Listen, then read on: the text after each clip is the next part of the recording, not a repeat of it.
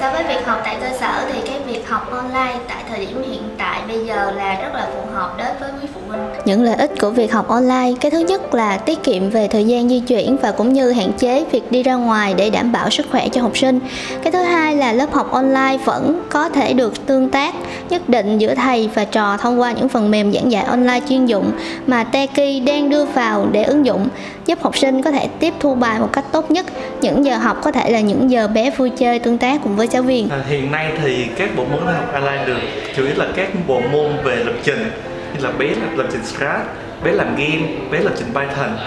thì những môn này bé có thể thao tác trên máy tính và thông qua việc online thì giáo viên có thể giám sát quan sát được bé đang thực hiện các thao tác trên máy tính và hỗ trợ bé ngay trên ờ, qua online luôn trong quá trình học thì các thầy cô có thể là đưa ra một số các cái công cụ để tổ chức thi đua. Ví dụ như là có những công cụ về giành quyền trả lời. Bé nào nhanh hơn giành được quyền trả lời. Và trên đó cũng có những công cụ mà thưởng tích điểm để mà động viên cho các bé trong quá trình học tập. Thì sau mỗi buổi học là sẽ có phần đánh giá. Các giáo viên sẽ đánh giá từng bé về khả năng tiếp thu, khả năng học tập của từng bé và sẽ được gửi về cho phụ huynh để phụ huynh nắm được tình hình học tập của các bé sau từng buổi học, cũng như cái sự phát triển tiến bộ từ từng qua từng bài học của các bé.